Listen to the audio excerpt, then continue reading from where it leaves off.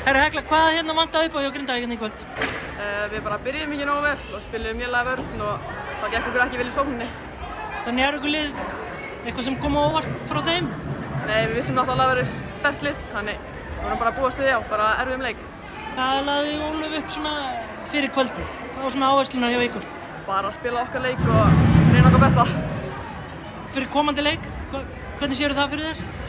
Við ætlum bara að mæta sterkasta leik svo já, bara geta betur. Hversu mikilvægt er fyrir ykkur að taka sigur í næsta leik? Það er bara mjög mikilvægt. Ná 1-1 þá og já, bara sína að við getum unnið. Takk fyrir þetta. Takk fyrir.